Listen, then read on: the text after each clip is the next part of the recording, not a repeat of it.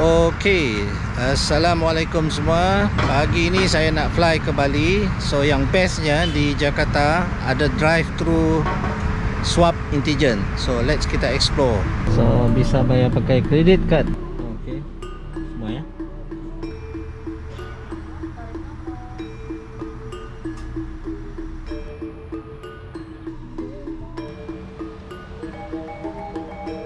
Inilah susahnya travel waktu pandemic COVID.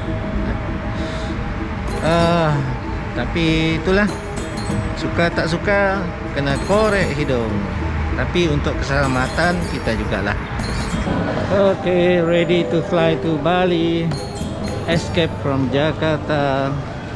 Sebab sekarang uh, selepas liburan uh, Aidilfitri uh, COVID-19 sangat shoot up dia punya positif so kita lari ke Bali tamu yang sedang menunggu giliran untuk keluar dari pesawat dimohon kesamanya untuk tetap duduk Terima thank you so much. Bye bye. Selamat sore, selamat sore.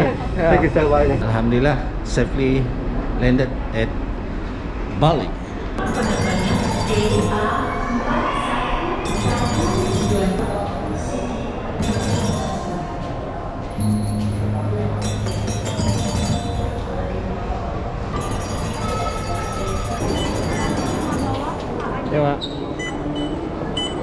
Okey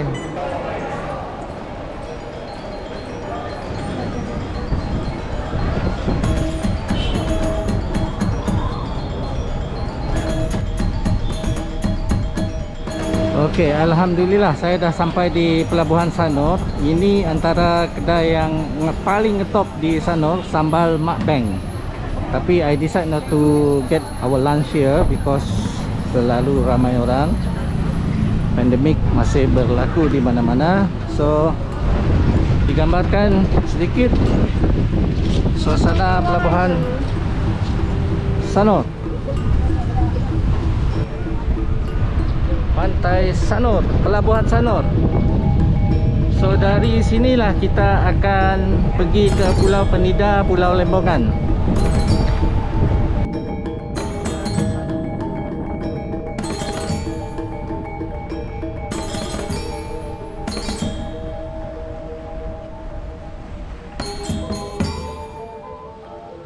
Okey, sedikit gambaran tempat membeli tiket bot.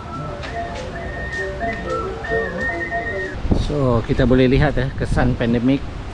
Uh, banyak kedai yang tutup. Menurut cerita pemandu teksi tadi it was a very hard time lah sepanjang setahun. Uh, sehingga kan terpaksa membuat pekerjaan-pekerjaan yang di luar jangkaan lah untuk survive semasa pandemik. Saya terpaksa menunggu jam 3 petang uh, kerana tiket bot hanya ada pada jam 3 so sementara menunggu saya jalan-jalan dululah di pantai sana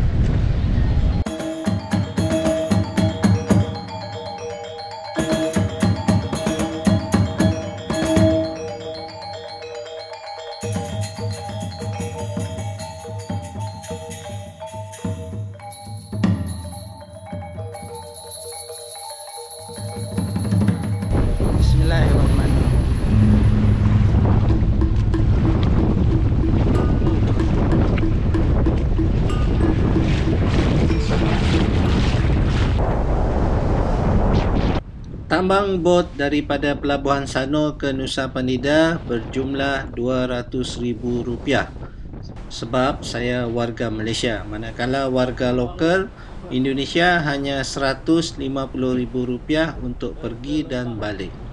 Pada perjalanan kali ini gelombang sangat tinggi dan boleh membuatkan kita mabuk laut. Perjalanan bot daripada Pelabuhan Sanur ke Nusa Penida lebih kurang mengambil masa 1 jam.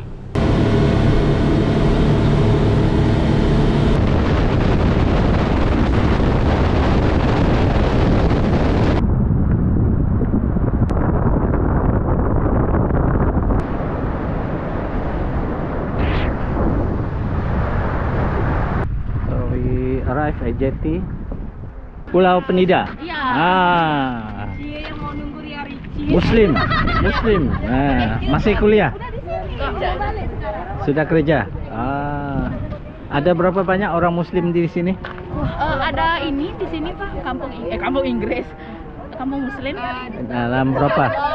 Satu ribu, dua ribu?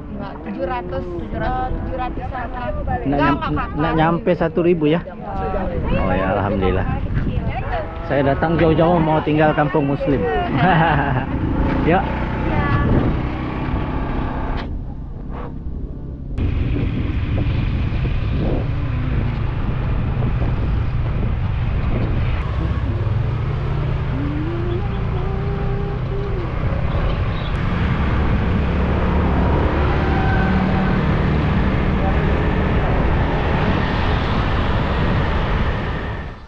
Apa namanya kampung ini?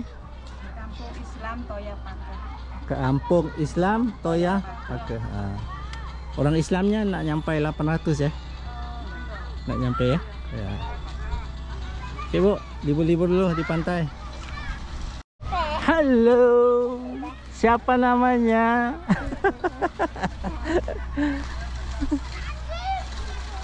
Okey, ah, ah, ah, alhamdulillah petang ni kita dapat jumpa orang main bola di pantai.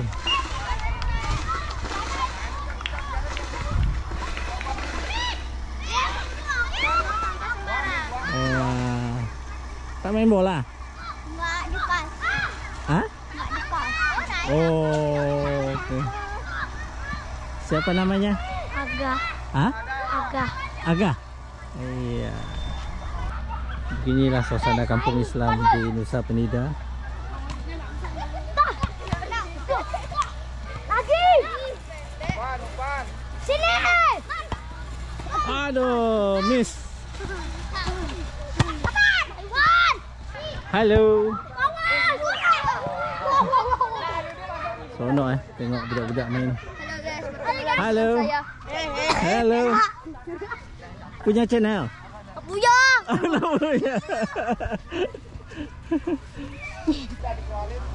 Halo. Halo. Namanya siapa? Nama saya Nunu. Sekarang Usianya berapa? Eh, eh, eh, boleh gitu.